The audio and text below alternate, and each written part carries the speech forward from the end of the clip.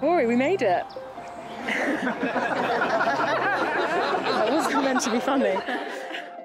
Exactly 10 years since our very first date, and I can't describe how happy I am standing here today becoming your wife.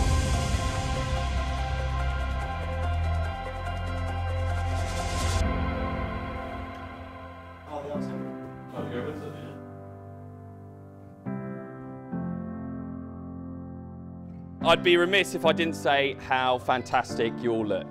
But have you seen my wife?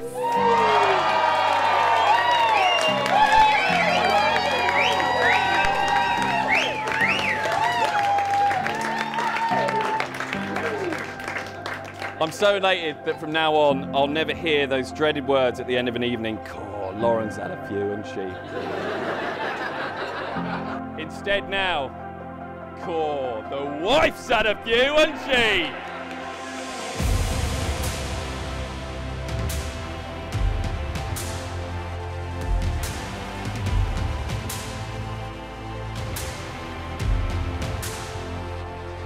I've been apart from you and I've been together with you, and I can say the utmost confidence that I'm a better person for you. I think that is ever more reinforced that now, whenever I go somewhere without you, the first question anyone ever asks me is, Where's Lauren?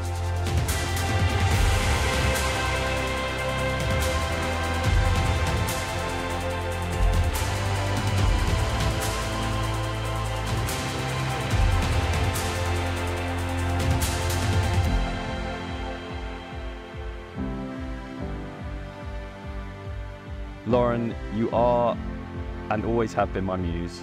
You inspire me, you motivate me to be better. You comfort me when times are hard, you keep me grounded whilst effortlessly showing me the unlimited possibilities for us both.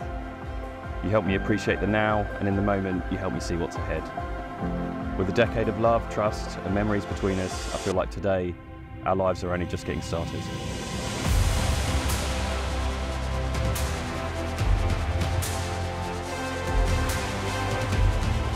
They say that nothing worth having comes easy, but for us, that's not true because every single second we spend together feels like the easiest thing in the world. I can't wait to continue our adventure together. This is the beginning of our forever and our happily ever after. We are 10 years in the making, two years of planning, and a lifetime ahead of us. Here's to forever, we love you, but most importantly, I love you.